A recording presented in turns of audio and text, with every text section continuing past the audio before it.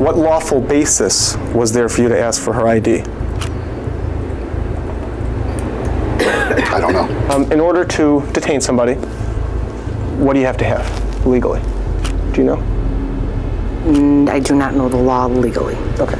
Doesn't there have to be reasonable suspicion that the person committed a criminal offense or violated a law? Because I'm gonna, I'm, I don't know the law exactly. You don't know when an officer is allowed to detain somebody? This is Sergeant Jennifer Larson and Lieutenant Donald Milazzo, both police officers that had served for over 20 years, being deposed for the illegal apprehension and arrest of a woman named Samantha, aka Pink Camera Magic, on YouTube, who had been recording at the Cook County Courthouse building from outside. Hey, ma'am, you know this is a public building? Exactly, that's why I'm recording it. It's also a court facility, Yep. which there is a judicial law or judicial order that says that you cannot tape this building. Can I see that order? Yes, come on in. I'll, we're going to check your IDs too. Oh, no, I'm not going in. Oh, yeah, no, no, no. We're going to run you too. No, that's all We're going to right. get your name. We're going to do a report and everything. So come on in. Um, All no. No, yeah, you're going to come in now. Am I being detained? Yes. For what? Because right now we, you are doing something suspicious. That's not a reason to detain anybody. Well, it is for Dana. Come on. It's really not. Let's go so inside I'm just going to stay here and continue recording. Okay. You're going to come in and we're going to find out who you are and what you're doing here. No, you're not. Okay. All right, who's got cuffs? She does not want to go agreeably. The interaction begins with Lieutenant Milazzo approaching Samantha and stating that she can't record in a public building and that is enough reason for him to detain her as she didn't provide her ID. But what Milazzo doesn't know is that what he's doing is actually illegal, as it is completely legal to take photographs or film public places in all states unless oral conversations are recorded, which is not the case here. Okay? I'm being detained for just taking pictures of the building. Yes, ma'am. You're doing something suspicious and we need to know who you are and why you're doing it. Okay? Are you familiar with the First Amendment? Yes. I am. Really? Put Let's your hands behind your back. Come on. Wow. I tried to do this nicely.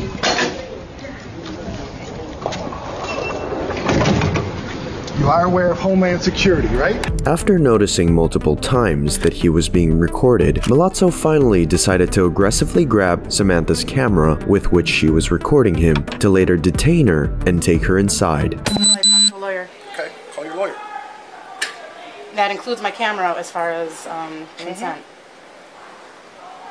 Well, it's already on. Are you familiar with the Fourth Amendment? Oh, great. Why do we always get the crazies? I don't know. That second person in the scene, the one wearing the body cam, is Sergeant Jennifer Larson, and what she and Lieutenant Milazzo don't seem to realize is that what they are doing is absolutely outside the boundaries of the law, and that Samantha knows that. Denying yet again showing her ID, Samantha notices that Lieutenant Milazzo is doing something shady with her camera. Did you delete my footage? Do you want to cooperate or not? I'm remaining silent. It is only making it worse. Do you want to give us I'm an remaining ID? Silent. I'm silent. I don't consent to searches. We're not going to search you. We're asking for an ID. If this wasn't enough, the officers then mockingly laugh at her after she invokes her right to remain silent. What the f- is going on today? I don't know. Every crazy loon in the building is coming. All we're a asking full is an ID. We're asking for an ID. We'll do, it, we'll do a report. You can go on your way with your camera. Otherwise, I'm going to confiscate the camera and we're going to take it downstairs what and we're crime? gonna print you. Because you're suspicious. I'm remaining silent. Seeing no cooperation on her side, the officers then decide to give Samantha an ultimatum in an attempt to finally settle the situation. Okay, this is your choice.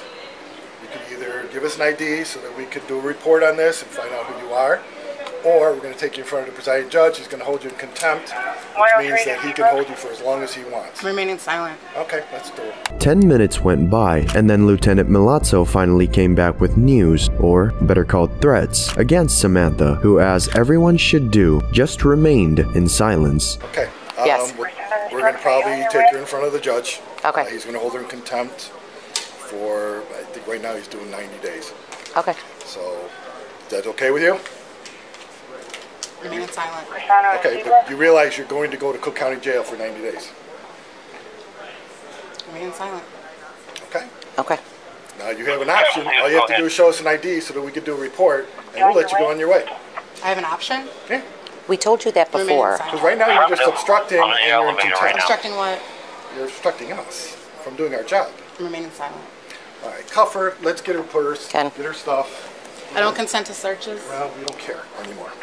Okay? Samantha was finally handcuffed and arrested for obstruction to later be freed without any charges. But what the officers are unaware of is that not only did they commit an illegal act, but multiple unlawful detainment, intimidation, illegal arrest, dereliction of duty, unlawful search and destruction of private property. Shortly after, Samantha was able to hire one of the best lawyers in the country and sued Cook County for multiple civil rights violations. The case has been going on for a few years now, and the conclusion is not yet known, but a part of all of this that we have is the following footage of both the deposition of Lieutenant Milazzo and Sergeant Jennifer Larson. What unfolded in the following never-before-seen footage is one of the biggest and most shocking proofs of ignorance of the law and ineptitude in police history. Is it against the law to take pictures of a courthouse from outside? No, not that I know. Okay. Is it lawful to arrest somebody for taking pictures outside of a courthouse, of the courthouse? No, not that I know. Okay. Is there something sus- Lisa, keep your voice up, please. Okay, sorry. So I gotta get every word because it's on video. Okay. Are you familiar with this case at all? Which case? The The, case that brings us here today, that you're def- testifying in. yes. Okay, and, and in a nutshell, what's the case about? I would say that Amanda is, I guess I called you to say that she was uh, outside videoing when she shouldn't have been. So she's saying we violated her amendment rights. You're correct. Um, wh- when you say when she shouldn't have been, wh- what does that mean? Was she doing something wrong? Uh, just something unusual, what us as officers would consider unusual. Unusual, okay. Having shown zero knowledge of the law, Samantha's lawyer then decides to push Sergeant Jennifer further to try to make her slip even more. Um, depending on where you are in the country, Mormons are unusual, right? Depending on where you are, it might be unusual to see a Mormon. Do you get to detain Mormons in those places? I don't, I don't know. People detain Mormons. You don't have to speak. I don't know if they detain Mormons. I, Would it be lawful? Just because it's unusual? no, I don't. Okay. Is there something unlawful about recording outside of a building? I'm sorry, what was the question? Let me ask you this. Was Miss doing anything illegal when she was detained? No, I would say it was not illegal, unusual. Talking about unusual things, the statement that follows is something a police officer should never even be allowed to say. Um, in order to detain somebody, what do you have to have legally? Do you know? I do not know the law legally. And if you still think that at least Lieutenant Milazzo knew what he was doing, well, you're wrong. What would you do if one of those people said to you, What's the difference between arrest and detain? What would your answer be? We'd legal. Mr. Gorman, seated to your left? No. Sheriff has their own legal. Oh, okay. Their own legal who helps them understand things like the difference between arrest and detain? Yes. Gotcha. Was there a lawful basis to handcuff her? Yes. Okay, and what was that lawful basis? Officer safety. Here, Lieutenant Milazzo has just confirmed not to know the difference between an arrest and a detainment, an occasion in which, if they need help, he indicates they just go ahead and call the office's lawyer to help them. The question remains then, how can someone work 27 years as a police officer and not know the law? Did you have any reasonable suspicion that she was committing a crime? We had reasonable suspicion to ask her what she was doing and why she was doing it, just to get who she was and why. You and I agree on that, that you had the right to ask her whatever you wanted to ask her. Did you have the right to put her in handcuffs? Officer safety. For the security of the officers, yes. Okay. What made her a threat? her refusing to give any information that was requested of her. Was she legally obligated to give that information? When an officer has asked her for security purposes to give her identity up, yes, we do have the right to ask for an identity of somebody for our safety. 20 years of service, and Sergeant Larson believes that she's not safe unless she runs your name. Not the kind of cop I would like to encounter if I'm being pulled over. Have you ever heard of something called a Terry search or a Terry frisk? I have. Okay, what is that? Um, I'm not going to say exactly. I don't know the law. Okay. Seeing how she has no clue of anything related to law, Samantha's lawyer then decides to make up a hypothetical scenario to further prove his point on how wrong the arrest was. Police officer goes over to somebody on the street. Let's call the person Mr. Plaintiff. Okay. Police officer goes to Mr. Plaintiff and says, hey, let me see your ID. And Mr. Plaintiff says, uh, no. Is the officer now allowed to put Mr. Plaintiff in handcuffs and detain him? I'm gonna object. It's a hypothetical. It calls for speculation. Yeah. You can answer. Okay. Um, I do believe, yes, for officer safety, they do have the right. Doesn't there have to be reasonable suspicion that the person committed a criminal offense or violated a law? As I'm gonna, I'm, I don't know the law exactly. At least we saw so far how Jennifer takes responsibility and accepts that she doesn't know the law, in big contrast to her lieutenant, who instead pretends not to understand any of the questions the lawyer asks and makes fun of the situation. If you could go back in time to the day that you arrested her, would you still arrest her? So you're asking me if I can go back in time? Yeah. I don't know how I could do that. Okay. Did you understand my question? I did, and you're asking me to suppose whether or not I can go back in time. I can't. So you can't tell me if you would still arrest her? I can't tell you what would happen on that day if I went back in time. No, Okay. Um, are, are you, is this an attempt to be funny? not a bit. Are you trying to answer my questions? I'm trying to answer your question. You really can't figure this out because you can't wrap your head around time travel. I'm gonna, That's what I'm you're gonna saying? object. Again, I mean, uh, I'm gonna object. It's getting to be harassing again. Uh, I mean, are- is this what the question is? Hypothetical tra- time travel backwards? Is that really how you interpreted the question also? Is that what you're asking? If he could go back in time, would he do it differently? Is that not what you're asking? Yeah, that is what I asked him. Going back to Sergeant Jennifer, the interrogation continues and her responses don't get any better as time goes on. Is there any reasonable suspicion that she was committing a crime, yes or no? We weren't sure what she was doing. Okay, so if you don't know what somebody's doing, do you have reasonable suspicion that they're doing anything in particular? No, but we have a reasonable response to ask what she was doing. Right, agreed. You could ask her what she's doing. And when she refuses to answer, are you now allowed to detain her?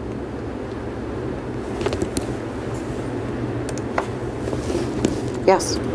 Who told you this? That you get to detain people who are videoing and refuse to identify themselves when asked? That is the face of someone getting caught, being held accountable, and humiliated for their illicit actions. Despite always refusing to admit that she had done wrong, everything was captured on camera and the answer is clear as water at this point. But this is not over, as in complete opposite to Sergeant Larson, Lieutenant Milazzo wasn't going to go down without a fight. Are you familiar with the Fourth Amendment, by the way? Vaguely. What does it say in your own vague terms? No illegal search and seizure. Right, unless there's, Probable cause. or, That's about all I know. okay, all right, good enough. You said that's about all I know. All right, um, now, there was somebody else who asked you the same question that I just asked you about your familiarity with the Fourth Amendment, uh, who's in this room right now. Do you know who that person was? My client, Ms. asked you that, didn't she? I don't recall. She asked you, are you familiar with the Fourth Amendment? You don't remember that? No. Lieutenant Milazzo admits not to recall neither the location in which this happened nor who actually asked him, when in reality, all of us know that it was Samantha and he's just playing dumb and everything was recorded as we saw before. I talked to a lawyer. Okay, call your lawyer. That includes my camera as far as um, consent.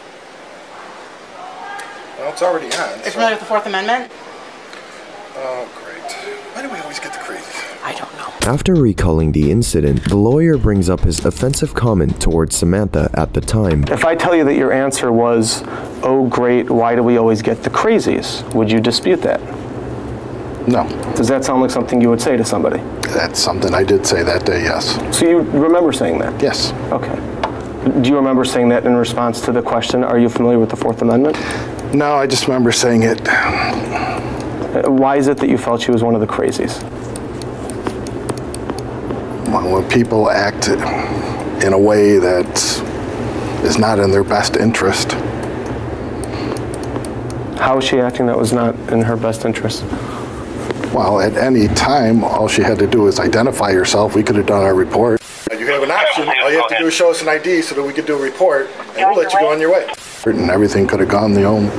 And if, uh, if somebody were to threaten you that unless you comply with their demands, they're going to put you in handcuffs, would you automatically necessarily comply with their demands? I'm gonna Yes. object. You would. Calls for speculation. He was able to answer.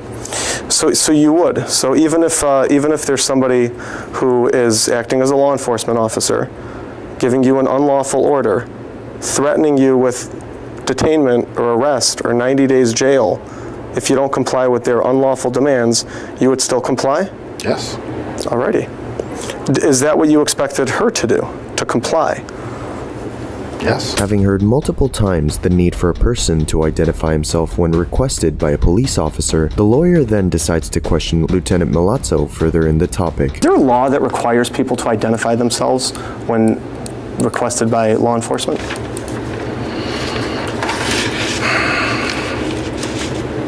I don't know. And when asked if he had deleted the files from his camera, he blatantly denies it, despite it all having been recorded by the body cam the sergeant had at the moment. Did you delete her pictures? No. Who did? Don't know. You don't know who deleted her pictures? No. By the time you got in front of Judge Peter Felice, they were deleted, weren't they? As far as I know, they were still on there. You grabbed her camera Yes. away from her outside, did you not? Yes. From that point until you were in front of Judge Peter Felice, did she ever hold her camera again? No. Okay, so you had it the entire time. Yes. Didn't Judge Peter Felice talk to you about whether the pictures had been deleted? He asked for the the memory thing so he could delete them. He asked for the memory thing so he could delete them. Not only did Milazzo prove the lawyer's point of the pictures being deleted, but he also had just involved a judge in the same illicit act he's being accused for. You just said that he asked you for the memory card because he wanted to delete the pictures. Is that your testimony? Yes. Okay. And if he were to testify at some point in time that he absolutely, categorically did not delete those pictures, then would you want to change your answer as to whether you or one of your people did? I'm gonna object. Calls for speculation.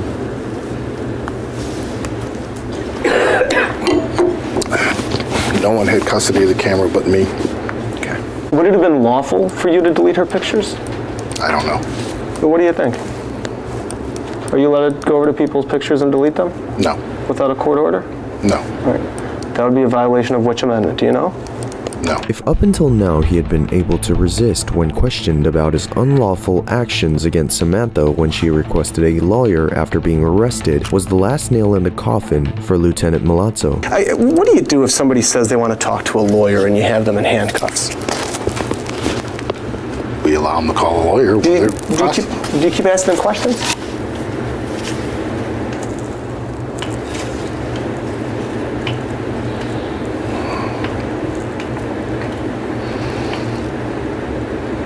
Depends on the case. Oh, I got you. Okay. Tell me the case in which you would continue to ask questions for, of somebody in custody after they ask for a lawyer.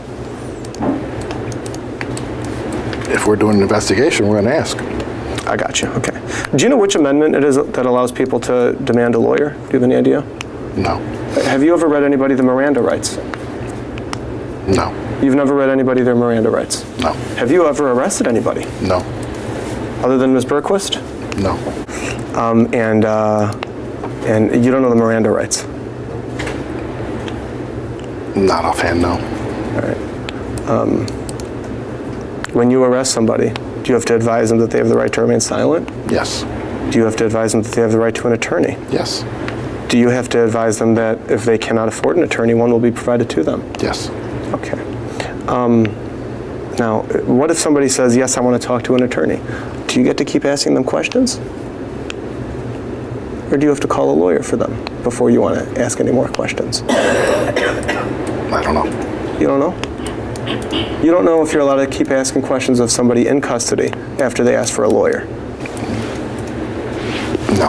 How long have you been employed under, at at Cook County Sheriff's? 27 years. 27 years. I imagine you only became a lieutenant recently? No. How long ago did you become a lieutenant?